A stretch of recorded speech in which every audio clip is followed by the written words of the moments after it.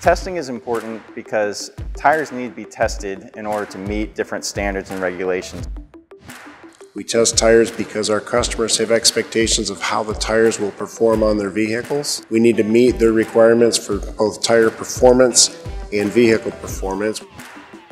In order to know how a tire is performing, we need to test the tire to see how that tire is performing relative to our own products and to competitors' products. We have two types of testing we generally do. We classify as inside or internal testing and outside testing or on-vehicle testing. Laboratory testing is the inside testing. It's done on machines.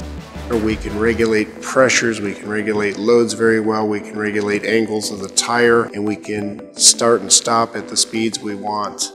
You're placing data and numbers onto actual objects. Vehicle testing is done on the vehicle or outside on the highway.